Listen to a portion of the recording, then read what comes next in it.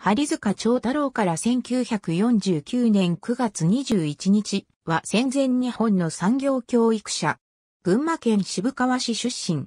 高等師範学校教授、文部省史学館、上田山市専門学校初代校長、名誉教授。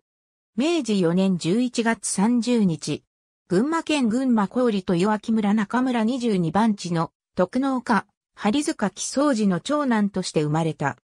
1878年4月中村小学校に入学、指名尋常高等小学校高等科を経て、1885年3月期、日野木中学校に進学した。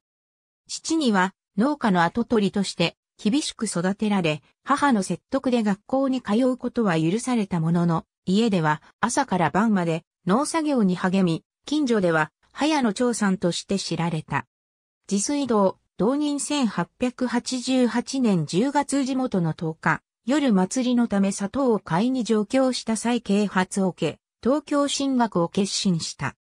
1889年3月中学校を中退し、地元の小学校で大用教員を務めた後、7月、東京農林学校予科1年級に入学した。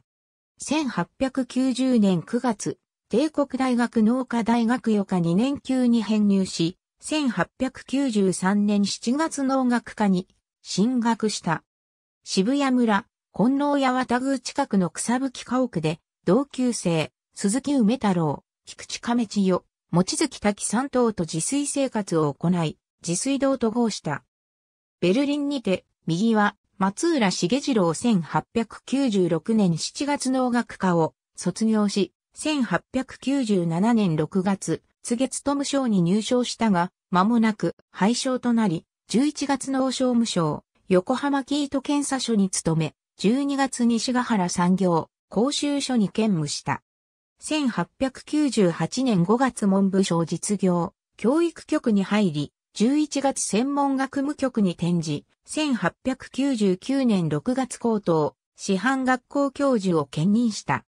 1900年11月図書審議官となり、1902年9月私学官を兼務、教科書編纂や教科材木調査に従事した。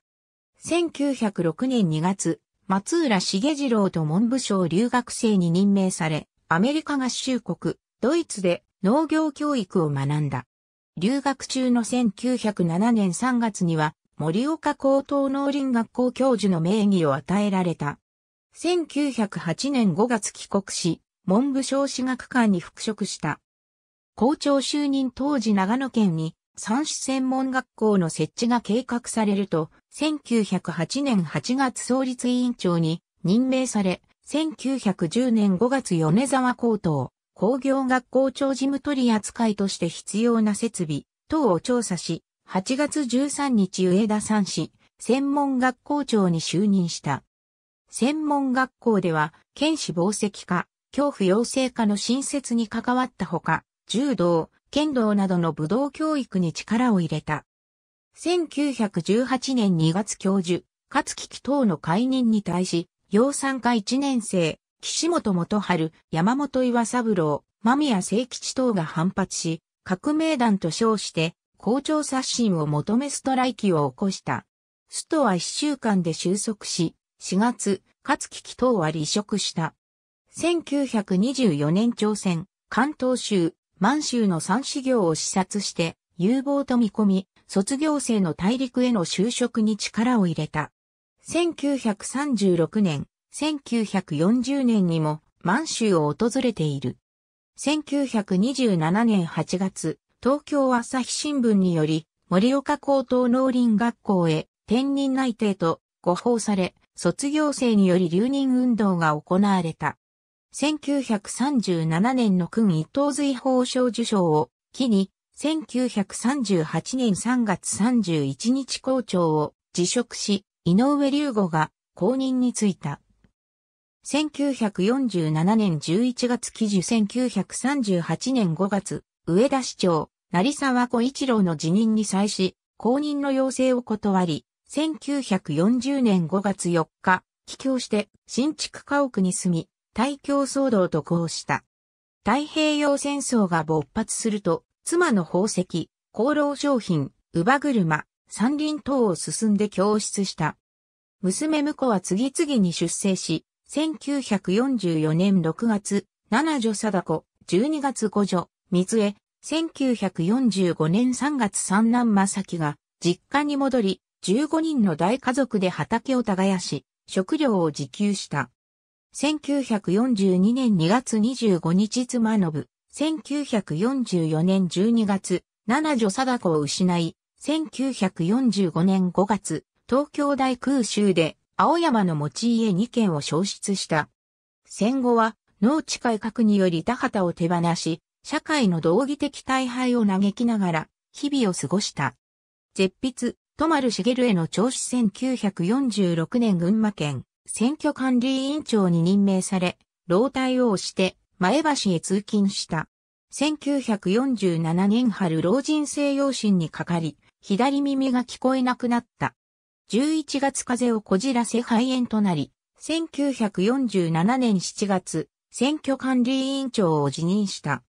1949年夏頃から肋間神経痛を頻発、持病の狭心症も悪化、9月21日昼食中に胸痛を訴え、午後2時半頃、心臓麻痺により死亡した。9月25日別所上落樹から半田高美が招かれ、葬儀が行われた。戒名は、高徳院伝、薫誉長安大古寺。1947年11月の岡大学時代、渋谷の自水道から徒歩で、小石川区行動館に通い、柔道の稽古を受けた。1923年から1940年9月まで、長野県柔道有段社会会長を務めている。上田時代、東福寺村から、関税流、高橋清照を学校に招いて、洋曲を学んだ。また、教授、大滝翔太郎には、日本刀収集の手ほどきを受け、卒業生の出生に際して、日本刀を送り、着男正樹には、刀剣は国宝なり、一産すべからず、と遺言した。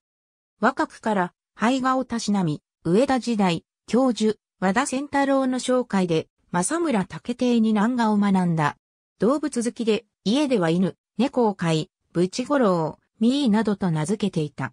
学校の牧場には2頭の馬を所有し、元気号、努力号と名付けていた。1938年体幹時の謝恩金の一部を元に設立され、上田山市専門学校で毎年優秀な学生、卒業生に針塚賞が贈られたが、大学改祖の際、成績が非公表となったことで廃止された。